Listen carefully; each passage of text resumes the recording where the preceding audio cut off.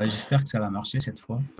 Moi, ce que j'ai bien aimé dans cette formation, c'est qu'on mettait en pratique tout de suite, un peu comme si on fait un parallèle avec un sport, c'est qu'on nous explique la prise et puis on va s'entraîner pour exécuter la prise et ça va aller de mieux en mieux.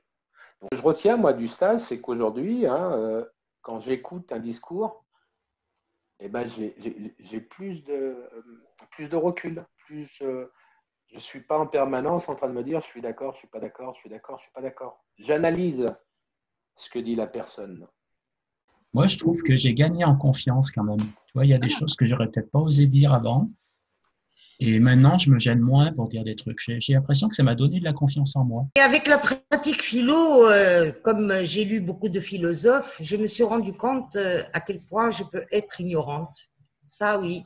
Personnellement, j'ai plus du tout la même attitude, hein, comme on disait tout à l'heure, j'ai plus du tout la même écoute et plus la même attitude quand je suis en dialogue avec euh, quelqu'un. Hein. Donc, euh, ce qu'on a fait cette année, réellement, ça m'a, ça m'a un petit peu changé quand même dans mon rapport, euh, dans mon rapport aux autres, hein, dans mon écoute, ouais, vraiment. Donc, du coup, la, la, philo, je dis pas que j'en fais à chaque fois que que j'ouvre la bouche ou j'écoute quelqu'un, mais bon, ça m'a quand même, ça m'a quand même changé, quoi. Il me semble. Ouais. Ok.